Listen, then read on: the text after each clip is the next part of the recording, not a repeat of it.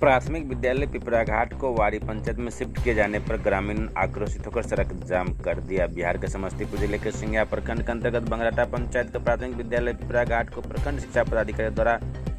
वारी पंचायत स्थित प्राथमिक विद्यालय पिपरा में शिफ्ट कर दिया गया था, जो कई वर्षों से वहाँ पर संचालित था। विद्यालय आने जाने के रास्ते गड़बड़ रहने पर एक सप्ताह पूर्व संजय साहु के पुत्री और रतन दास के पुत्री विद्यालय जाने के क्रम में घायल हो गया था। उसी सब बातों को लेकर आज मंगलवार के दिन ग्रामीणों ने आक्रोशित होकर सिंघिया कुशेश्वर स्थान मुख्य सड़क मार्ग को जाम कर उप विद्यालय के निर्माण करने हेतु बंगराटा